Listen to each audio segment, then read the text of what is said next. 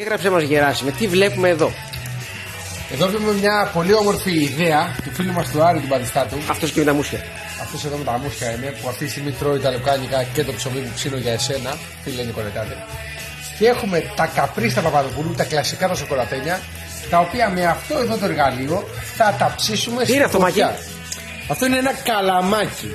Ωραία. Ξύλινο. Για να δούμε. Θα δοκιμάσουμε πώς ψήνονται τα καπρίς Παπαδοπούλου στη φωτιά. Για αρχή χρειαζόμαστε ένα καλαμάκι ξύλινο. Το καρφώνεις μέσα, μην κάνεις τα χαρτοματάκια και το βγάλεις έξω. Καρφώσε το μέσα. Δεν Δες κάνει. πόσο μυαλό έχω κι εγώ. Το περνάμε από το καπρίς Ολόκληρο. Κοίτα πόσο μυαλό έχω. Δεν θα σπάσει καν.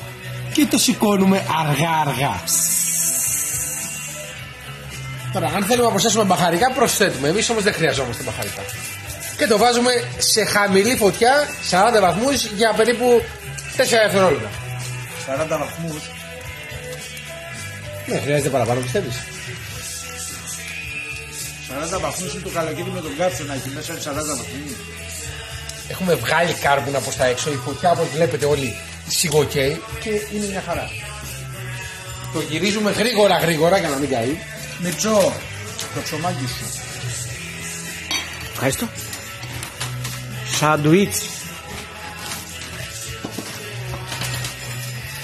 Πρέπει να έχουν περάσει 40 δευτερόλεπτα και ο Άρης ο Μπαντιστάτος ξεκίνησε να τρώει. Μίλησέ μας λίγο γι' αυτό. Πώς είναι; Αλήθεια τώρα.